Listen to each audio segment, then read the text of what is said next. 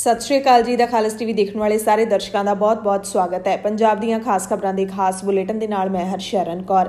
ਅੱਜ 30 ਜੁਲਾਈ ਹੈ ਤੇ ਦਿਨ ਸ਼ੁੱਕਰਵਾਰ ਹੈ। ਅੱਜ ਦੀਆਂ ਖਬਰਾਂ ਦੇ ਵਿਸਥਾਰ ਤੋਂ ਪਹਿਲਾਂ ਤੁਹਾਨੂੰ ਖਾਸ-ਖਾਸ ਖਬਰਾਂ ਦੱਸ ਦਿੰਨੇ ਆ ਅਤੇ ਮੌਸਮ ਦੀ ਜੇ ਗੱਲ ਕਰੀਏ ਤਾਂ ਪੰਜਾਬ ਦੇ ਵਿੱਚ ਕੱਲ ਕਈ ਥਾਈਂ ਭਰਵਾਂ ਮੀਂਹ ਪਿਆ ਹੈ ਤੇ ਹੁਣ ਇਹ ਮੀਂਹ ਰਾਹਤ ਦੇ ਨਾਲ-ਨਾਲ ਆਫਤ ਵੀ ਬਣਦਾ ਜਾ ਰਿਹਾ ਹੈ ਕਿਉਂਕਿ ਸ਼ਹਿਰਾਂ ਦੀਆਂ ਗਲੀਆਂ ਭਰ ਗਈਆਂ ਨੇ ਤੇ ਪਿੰਡਾਂ ਦੇ ਵਿੱਚ ਘਰ ਨੇ ਜਿਹੜੇ ਉਹ ਕਈ ਲੋਕਾਂ ਦੇ ਭਰ ਗਏ ਨੇ। ਨੀਵੀਆਂ ਥਾਵਾਂ ਦੇ ਉੱਤੇ ਪਾਣੀ ਹੈ ਜਿਹੜਾ ਜਮ੍ਹਾਂ ਹੋਣਾ ਸ਼ੁਰੂ ਹੋ ਗਿਆ। ਸੂਬੇ ਦੇ ਵਿੱਚ ਬਿਜਲੀ ਵੀ ਵਾਧੂ ਹੋ ਗਈ ਹੈ ਤੇ ਮੌਸਮ ਵਿਭਾਗ ਨੇ ਹਾਲੇ ਹੋਰ ਮੀਂਹ ਦੀ ਪੇਸ਼ੀਨ ਹੈ ਜਿਹੜੀ ਉਹ ਕੀਤੀ ਹੈ ਕਿ ਹਜੇ 1-2 ਦਿਨਾਂ ਤੱਕ ਹੋਰ ਮੀਂਹ ਹੈ ਜਿਹੜਾ ਪੰਜਾਬ ਤੇ ਹਰਿਆਣਾ ਦੇ ਵਿੱਚ ਪੈ ਸਕਦਾ ਹੈ। ਰਾਹਤ ਗਰਮੀ ਤੋਂ ਜ਼ਰੂਰ ਮਿਲ ਗਈ ਹੈ, ਪਾਰਾ ਜ਼ਰੂਰ ਹੇਠਾਂ ਡਿੱਗਿਆ ਹੈ। ਕੱਲ ਪਟਿਆਲੇ ਦੇ ਵਿੱਚ ਵੱਖ-ਵੱਖ ਵਿਭਾਗਾਂ ਦੇ ਮੁਲਾਜ਼ਮਾਂ ਨੇ ਇਤਿਹਾਸਿਕ ਇਕੱਠ ਕੀਤਾ। ਪੰਜਾਬ ਦੇ ਮੁੱਖ ਮੰਤਰੀ ਕੈਪਟਨ ਅਮਰਿੰਦਰ ਸਿੰਘ ਦੇ ਸ਼ਹਿਰ ਪਟਿਆਲੇ ਦੇ ਵਿੱਚ ਮੁਲਾਜ਼ਮਾਂ ਦਾ ਜਿਹਾ ਇਕੱਠ ਪਹਿਲਾਂ ਕਦੇ ਨਹੀਂ ਹੋਇਆ। ਮੁਲਾਜ਼ਮਾਂ ਦੇ ਇਸ ਸਾਂਝੇ ਇਕੱਠ ਨੇ ਕੈਪਟਨ ਸਰਕਾਰ ਨੂੰ ਜ਼ਰੂਰ ਭਾਜਣਾ ਪਾ ਦਿੱਤੀਆਂ ਨੇ ਤੇ ਇਹਨਾਂ ਮੁਲਾਜ਼ਮਾਂ ਨੇ ਹੁਣ ਮੰਗਾਂ ਦੀ ਪੂਰਤੀ ਲਈ ਹਫ਼ਤੇ ਦਾ ਅਲਟੀਮੇਟਮ ਦਿੱਤਾ ਹੈ। 9 ਤੋਂ 15 ਅਗਸਤ ਤੱਕ ਹੜਤਾਲ ਕਰਕੇ ਚੱਕਾ ਜਾਮ ਕਰਨ ਦਾ ਐਲਾਨ ਕੀਤਾ ਹੈ। ਸ਼੍ਰੀ ਅਕਾਲ ਤਖਤ ਸਾਹਿਬ ਦੇ ਨੇੜੇ ਖੁਦਾਈ ਵੇਲੇ ਮਿਲੇ ਪੁਰਾਤਨ ਇਮਾਰਤੀ ਢਾਂਚੇ ਨੂੰ ਪੁਰਾਤਤਵ ਵਿਭਾਗ ਨੇ ਵਿਰਾਸਤੀ ਇਮਾਰਤ ਦਾ ਹਿੱਸਾ ਦੱਸਦਿਆਂ ਇਸ ਨੂੰ ਸਾਂਭਣ ਦੀ ਸਿਫਾਰਿਸ਼ ਕੀਤੀ ਹੈ।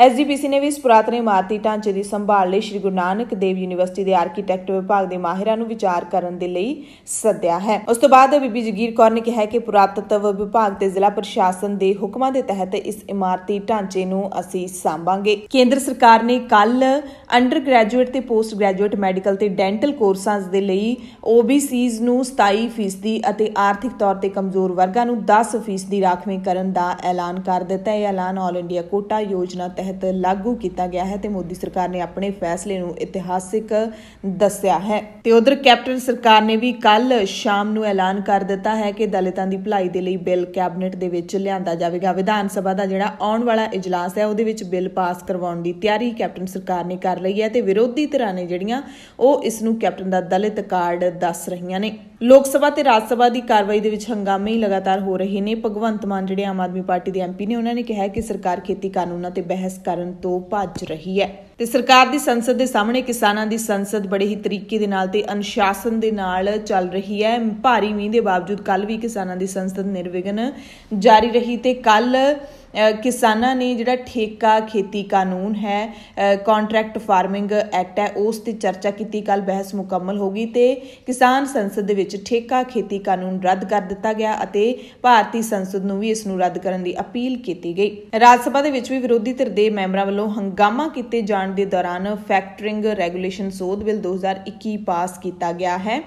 ਅਤੇ ਲੋਕ ਸਭਾ ਦੇ ਵਿੱਚ ਵੀ ਦੋ ਬਿੱਲਾਂ ਨੂੰ ਪਾਸ ਕਰਵਾ ਲਿਆ ਗਿਆ। ਹਵਾਈ ਅੱਡਾ ਆਰਥਿਕ ਰੈਗੂਲੇਟਰੀ ਅਥਾਰਟੀ ਆਫ ਇੰਡੀਆ ਸੋਧ ਬਿੱਲ 2021 ਤੇ ਇਨਲੈਂਡ ਵੈਸਲਸ ਬਿੱਲ 2021 ਇਹ ਬਿਨਾਂ ਬਹਿਸ ਤੋਂ ਹੀ ਪਾਸ ਕਰ ਦਿੱਤੇ ਗਏ ਨੇ। ਕਾਂਗਰਸ ਦੇ ਨਵੇਂ ਬਣੇ ਪ੍ਰਧਾਨ ਨਵਜੋਤ ਸਿੰਘ ਸਿੱਧੂ ਨੇ ਦੁਆਬੇ ਤੋਂ ਵਰਕਰਾਂ ਦੇ ਨਾਲ ਮੀਟਿੰਗਾਂ ਦਾ ਜਿਹੜਾ ਸਿਲਸਿਲਾ ਹੈ ਸ਼ੁਰੂ ਕੀਤਾ ਹੈ। ਕੱਲ ਜਲੰਧਰ ਦੇ ਵਿੱਚ ਪਹੁੰਚੇ ਸੀ ਵਿਧਾਇਕਾਂ ਤੇ ਪਾਰਟੀ ਦੇ ਅਹੁਦੇਦਾਰਾਂ ਦੇ ਨਾਲ ਸਿੱਧੀ ਗੱਲਬਾਤ ਕੀਤੀ ਹੈ ਅਤੇ ਇਹ ਵੀ ਦਾਅਵਾ ਕੀਤਾ ਹੈ ਕਿ ਜਿਹੜਾ ਹਾਈ ਕਮਾਂਡ ਨੇ 18 ਨੁਕਾਤੀ ਏਜੰਡਾ ਦਿੱਤਾ ਹੈ, ਉਹ ਮੇਰੇ ਕਹਿਣ ਤੇ ਪੰਜ ਨੁਕਾਤੀ ਏਜੰਡੇ ਤੇ ਕੰਮ ਕਰਨਾ ਸ਼ੁਰੂ ਵੀ ਕਰ ਦਿੱਤਾ ਗਿਆ ਹੈ। ਇਹ ਸਿੱਧੂ ਨੇ ਦਾਅਵਾ ਕੀਤਾ ਤੇ ਲੁਧਿਆਣਾ ਦੇ ਗੁਰੂਸਰ ਸੁਧਾਰ ਦੇ ਵਿੱਚ ਨਵਜੋਤ ਸਿੰਘ ਸਿੱਧੂ ਨੂੰ ਰਿਕਾਰਡਿੰਗ ਭੇਜਣ ਤੋਂ ਬਾਅਦ, ਯਾਨੀ ਕਿ ਸੁਨੇਹਾ ਭੇਜਣ ਤੋਂ ਬਾਅਦ ਕਾਂਗਰਸੀ ਵਰਕਰ, ਨੌਜਵਾਨ ਕਾਂਗਰਸੀ ਵਰਕਰ ਨੇ ਜਿਹੜਾ ਖੁਦਕੁਸ਼ੀ ਕਰ ਲਈ ਹੈ। ਹਲਕਾ ਦਾਖਾ ਦੇ ਸੀਨੀਅਰ ਕਾਂਗਰਸੀ ਆਗੂ ਦਲਜੀਤ ਸਿੰਘ ਉਰਫ ਹੈਪੀ ਬਾਜਵਾ ਨੇ ਅਜਿਹਾ ਕੀਤਾ ਹੈ। ਜ਼ਹਿਰੀਲੀ ਦਵਾਈ ਨਿਗਲ ਕੇ ਖੁਦਕੁਸ਼ੀ ਕਰ ਲਈ ਹੈ। ਸਿੱਧੂ ਨੂੰ ਸੰਬੋਧਨ ਹੋ ਕੇ ਇੱਕ ਸੰਦੇਸ਼ ਭੇਜਣ ਤੋਂ ਬਾਅਦ ਸੰਦੇਸ਼ ਦੇ ਵਿੱਚ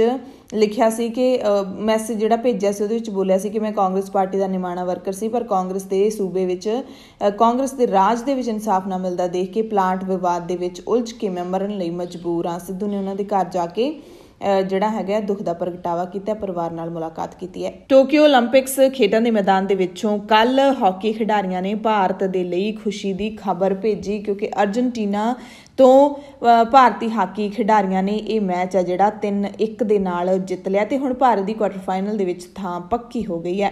ਬੈਡਮਿੰਟਨ ਦੇ ਵਿੱਚ ਪੀਵੀ ਸਿੰਧੂ ਵੀ ਕੁਆਟਰ ਫਾਈਨਲ ਦੇ ਵਿੱਚ ਪਹੁੰਚ ਗਈ ਹੈ ਡੈਨਮਾਰਕ ਦੀ ਮੀਆ ਬਲਿਚਫੈਲਟ ਨੂੰ ਮਾਤ ਦਿੱਤੀ ਹੈ ਹੁਣ ਜਾਪਾਨ ਦੀ ਯਾਮਾਗੁਚੀ ਦੇ ਨਾਲ ਮੁਕਾਬਲਾ ਹੋਵੇਗਾ ਤੀਰ ਅੰਦਾਜ਼ੇ ਦੇ ਵਿੱਚ ਭਾਰਤ ਦੇ ਅਤੁਨ ਦਾਸ ਨੇ 올림픽 ਚੈਂਪੀਅਨ ਨੂੰ ਹੀ ਬਾਹਰ ਕਰ ਦਿੱਤਾ ਹੈ ਤੇ ਪ੍ਰੀ ਕੁਆਟਰ ਫਾਈਨਲ ਦੇ ਵਿੱਚ ਥਾਂ ਬਣਾ ਲਈ ਹੈ ਦੱਖਣੀ ਕੋਰੀਆ ਦੇ ਜਿਨ ਹਾਇਕ ਨੂੰ 6-5 ਦੇ ਨਾਲ ਹਰਾ ਦਿੱਤਾ ਹੈ ਮੁੱਕੇਬਾਜ਼ੀ ਦੇ ਵਿੱਚ ਸਤੀਸ਼ ਕੁਮਾਰ ਨੇ ਕੁਆਟਰ ਫਾਈਨਲ ਦੇ ਵਿੱਚ ਆਪਣਾ ਥਾਂ ਬਣਾ ਲਿਆ ਹੈ ਤੇ ਹੁਣ ਅ, ਜਿਹੜਾ ਕੌਮਾਂਤਰੀ ਚੈਂਪੀਅਨ ਬਖੋਦਰ ਜਲੋਲੋਵ ਨਾਲ ਸਾਹਮਣਾ ਹੋਵੇਗਾ ਪਰ ਮੈਰੀ ਕਾਮ ਨੇ ਨਿਰਾਸ਼ਾ ਭਰੀ ਖਬਰ ਦਿੱਤੀ ਹੈ ਕਿਉਂਕਿ ਦੋ ਰਾਊਂਡ ਜਿੱਤਣ ਤੋਂ ਬਾਅਦ ਵੀ ਮੈਰੀ ਕਾਮ ਹੈ ਜਿਹੜੀ ਉਹ ਹਾਰ ਗਈ ਹੈ 51 ਕਿਲੋ ਦਾ ਦੂਜਾ 올림픽 ਤਗਮਾ ਜਿੱਤਣ ਦਾ ਸੁਪਨਾ ਜਿਹੜਾ ਉਹ ਮੈਰੀਕਾਮ ਦਾ ਟੁੱਟ ਗਿਆ। ਪੰਜਾਬ ਦੀਆਂ ਖਾਸ ਖਬਰਾਂ ਦੇ ਖਾਸ ਬੁਲੇਟਿਨ ਦੇ ਵਿੱਚ ਹੁਣ ਖਬਰਾਂ ਵਿਸਤਾਰ ਦੇ ਨਾਲ। ਪੰਜਾਬ ਦੀਆਂ ਖਬਰਾਂ 'ਚ ਇੱਕ ਅਹਿਮ ਖਬਰ ਜਿਹੜੀ ਉਹ ਦਿੱਲੀ ਤੋਂ ਆ ਰਹੀ ਹੈ।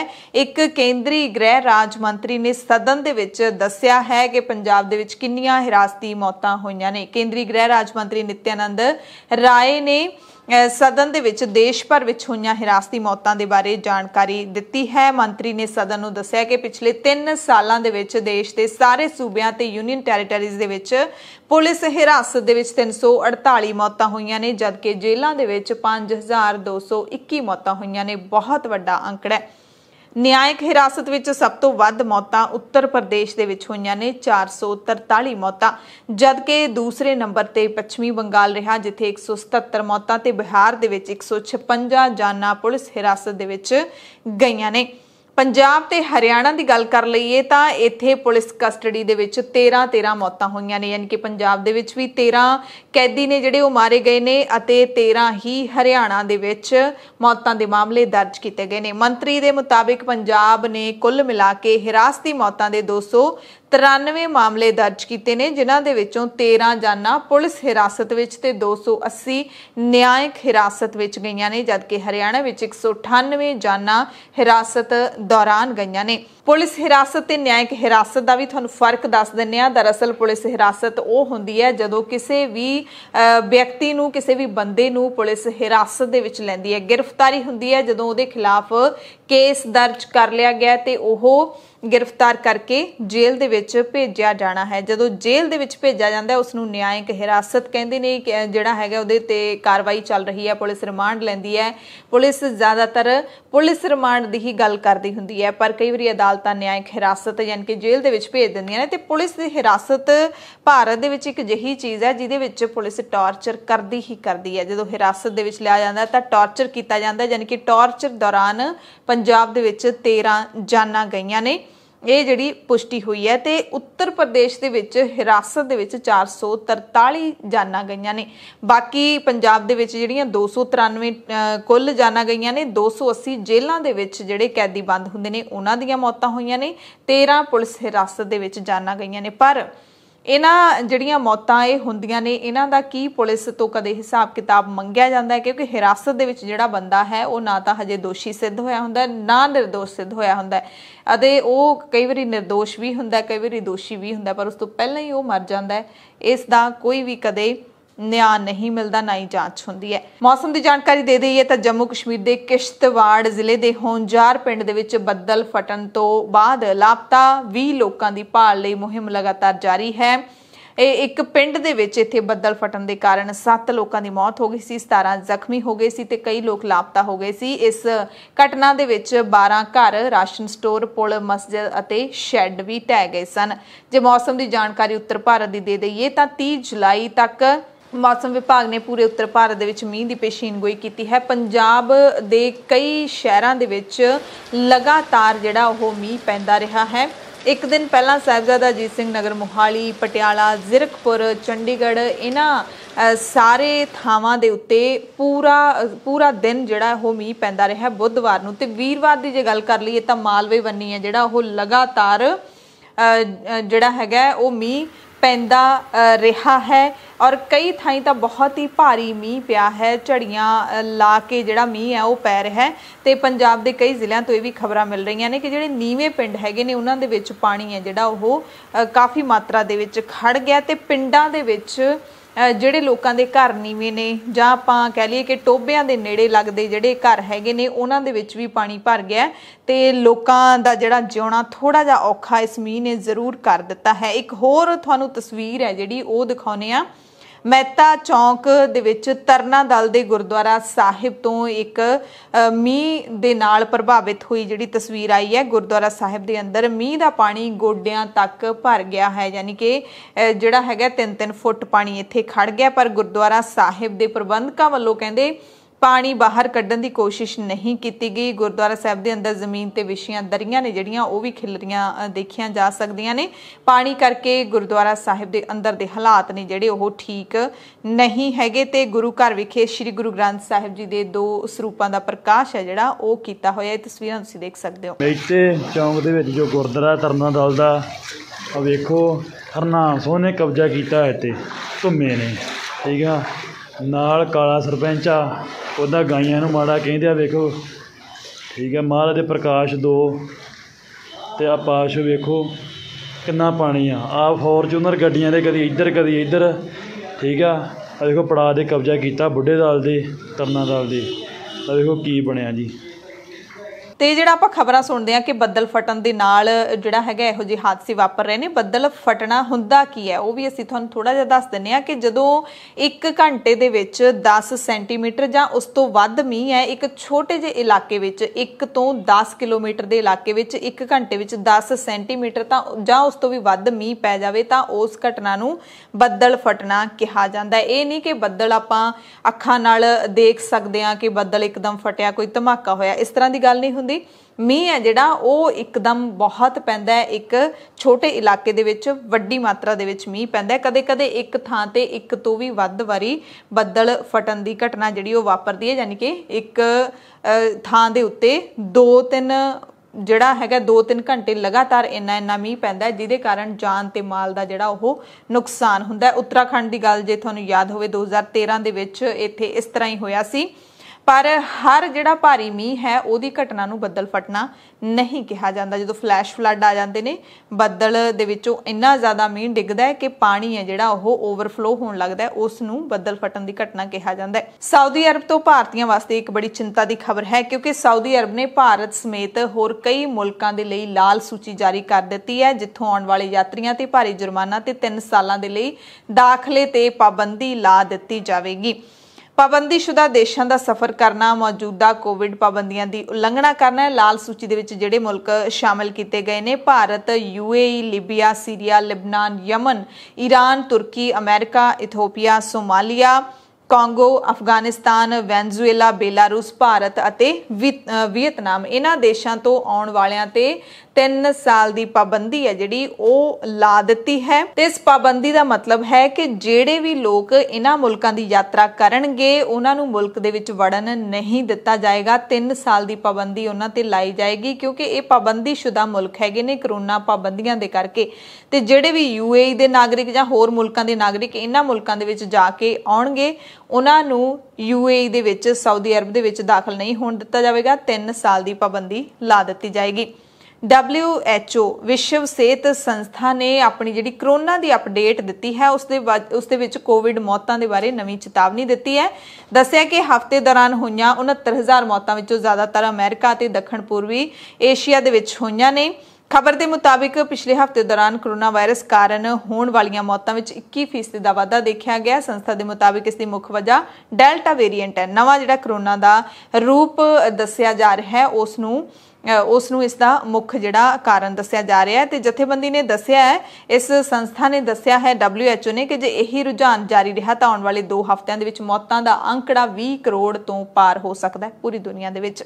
ਮੋਦੀ ਸਰਕਾਰ ਨੇ ਮੈਡੀਕਲ ਅਤੇ ਡੈਂਟਲ ਕੋਰਸਾਂ ਦੇ ਵਿੱਚ ਦਾਖਲਾ ਲੈਣ ਵਾਲੇ ਵਿਦਿਆਰਥੀਆਂ ਦੇ ਲਈ ਇੱਕ ਰਾਹਤ ਦਾ ਐਲਾਨ ਕੀਤਾ ਹੈ। ਆਲ ਇੰਡੀਆ ਰਿਜ਼ਰਵੇਸ਼ਨ ਸਕੀਮ ਦੇ ਤਹਿਤ ਮੌਜੂਦਾ ਐਕੈਡੈਮਿਕ ਸੈਸ਼ਨ 2021-22 ਤੋਂ ਅੰਡਰ ਗ੍ਰੈਜੂਏਟ ਤੇ ਪੋਸਟ ਗ੍ਰੈਜੂਏਟ ਮੈਡੀਕਲ ਤੇ ਡੈਂਟਲ ਕੋਰਸਾਂ ਦੇ ਵਿੱਚ ਦਾਖਲਿਆਂ ਲਈ ਹੋਰ ਪਛੜੇ ਵਰਗਾਂ ਦੇ ਲਈ, ਯਾਨੀ ਕਿ OBC ਦੇ ਲਈ 27% ਦੀ ਅਤੇ ਆਰਥਿਕ ਤੌਰ ਤੇ ਕਮਜ਼ੋਰ ਵਰਗਾਂ ਦੇ ਲਈ 10% ਦੀ ਰਾਖਵੇਂ ਕਰਨ ਦਾ ਫੈਸਲਾ ਕੀਤਾ ਗਿਆ ਹੈ। ਨਵੇਂ ਰਾਖਵੀਕਰਨ ਪ੍ਰਬੰਧ ਨੂੰ ਇਸ ਸਾਲ ਦੇ ਦਾਖਲੇ ਦੇ ਵਿੱਚ ਲਾਗੂ ਕੀਤਾ ਜਾਏਗਾ ਤੇ ਹਰ ਸਾਲ MBBS ਦੇ ਵਿੱਚ ਲਗਭਗ 1500 OBC ਅਤੇ ਪੋਸਟ ਗ੍ਰੈਜੂਏਸ਼ਨ ਵਿੱਚ OBC ਦੇ 2500 ਵਿਦਿਆਰਥੀਆਂ ਨੂੰ ਇਸ ਸਕੀਮ ਦਾ ਲਾਭ ਮਿਲੇਗਾ। MBBS ਦੇ ਵਿੱਚ ਆਰਥਿਕ ਤੌਰ ਤੇ ਕਮਜ਼ੋਰ ਵਰਗਾਂ ਦੇ 550 ਵਿਦਿਆਰਥੀ ਅਤੇ ਪੋਸਟ ਗ੍ਰੈਜੂਏਸ਼ਨ ਦੇ ਵਿੱਚ ਤਕਰੀਬਨ 1000 ਦੇ ਕਰੀਬ ਵਿਦਿਆਰਥੀਆਂ ਨੂੰ ਇਸ ਦਾ ਫਾਇਦਾ ਜਿਹੜਾ ਉਹ ਮਿਲੇਗਾ। ਮੁੱਖ ਮੰਤਰੀ ਕੈਪਟਨ ਅਮਰਿੰਦਰ ਸਿੰਘ ਦੇ ਸ਼ਹਿਰ ਪਟਿਆਲਾ ਦੀ ਗੱਲ ਕਰ ਲਈਏ। ਕਹਿਣ ਨੂੰ ਤਾਂ ਮੁੱਖ ਮੰਤਰੀ ਦਾ ਸ਼ਹਿਰ ਕਿਹਾ ਜਾਂਦਾ ਹੈ, ਪਰ ਮੁੱਖ ਮੰਤਰੀ ਇੱਥੇ ਕਦੇ ਦਿਖਦੇ ਨਹੀਂ। 4.5 ਸਾਲ ਹੋ ਗਏ ਨੇ, ਨਾ ਜਿਹੜੇ ਅੱਖਰਾਂ ਤੇ ਉਂਗਲਾਂ ਦੇ ਉੱਤੇ ਗਿਣੇ ਜਾ ਸਕਦੇ ਨੇ। ਦੌਰੇ ਕਿ ਮੁੱਖ ਮੰਤਰੀ ਨੇ ਇੱਥੇ ਕਿੰਨੇ ਕੁ ਦੌਰੇ ਕੀਤੇ ਨੇ, ਜਿਹੜੇ ਪੰਜ ਵੀ ਨਹੀਂ ਲੱਭਣੇ। ਸੋ ਪਟਿਆਲੇ ਦੇ ਵਿੱਚ ਸਾਂਝਾ ਮੁਲਾਜ਼ਮ ਫਰੰਟ ਦੇ ਵੱਲੋਂ ਆਪਣੀਆਂ ਮੰਗਾਂ ਨੂੰ ਲੈ ਕੇ ਵੱਡੀ ਮਹਾ ਰੈਲੀ ਇੱਥੇ ਕੀਤੀ ਗਈ। ਪ੍ਰਦਰਸ਼ਨਕਾਰੀਆਂ ਨੇ ਮੁੱਖ ਮੰਤਰੀ ਦੇ ਹਾਊਸ ਵੱਲ ਮਾਰਚ ਕਰਨ ਦਾ ਐਲਾਨ ਕੀਤਾ ਸੀ, ਪਰ ਮੀਂਹ ਦੇ ਕਰਕੇ ਇਹ ਦਾਣਾ ਮੰਡੀ ਦੇ ਵਿੱਚ ਰੱਖਿਆ ਗਿਆ। ਹਾਲਾਂਕਿ ਉਸ ਤੋਂ ਬਾਅਦ ਮੁਲਾਜ਼ਮਾਂ ਨੇ ਕੂਚ ਵੀ ਕੀਤਾ ਤੇ ਇਸ ਰੋਸ ਰੈਲੀ ਨੂੰ ਲੈ ਕੇ, ਮਹਾ ਰੈਲੀ ਨੂੰ ਲੈ ਕੇ ਪੰਜਾਬ ਜਿਹੜਾ ਹੈਗਾ ਉਹਦੀ ਅੱਧੀ ਪੁਲਿਸ ਪਟਿਆਲੇ ਦੇ ਵਿੱਚ ਝੋਂਕ ਦਿੱਤੀ ਗਈ। ਪੰਜਾਬ ਦੇ ਮੁੱਖ ਮੰਤਰੀ ਕੈਪਟਨ ਅਮਰਿੰਦਰ ਸਿੰਘ ਦੇ ਜੱਦੀ ਸ਼ਹਿਰ ਪਟਿਆਲਾ ਦੇ ਵਿੱਚ 16 ਮੁਲਾਜ਼ਮ ਜਥੇਬੰਦੀਆਂ ਦੇ ਵੱਲੋਂ ਸੂਬਾ ਪੱਧਰੀ ਰੈਲੀ ਦਾ ਸੱਦਾ ਦਿੱਤਾ ਗਿਆ ਸੀ ਪਿਛਲੇ ਦਿਨੀ ਤੇ ਕੈਪਟਨ ਨੇ ਮੁਲਾਜ਼ਮਾਂ ਨੂੰ ਅਪੀਲ ਵੀ ਕੀਤੀ ਸੀ ਕਿ ਰੈਲੀ ਨਾ ਕੱਢੀ ਜਾਵੇ। ਅਸੀਂ ਤੁਹਾਡੀਆਂ ਮੰਗਾਂ ਦਾ ਹੱਲ ਕਰਨ ਤੇ ਵਿਚਾਰ ਕਰ ਰਹੇ ਹਾਂ, ਪਰ ਮੁਲਾਜ਼ਮਾਂ ਨੇ ਇਸ ਮੰਗ ਨੂੰ ਠੁਕਰਾ ਦਿੱਤਾ ਸੀ।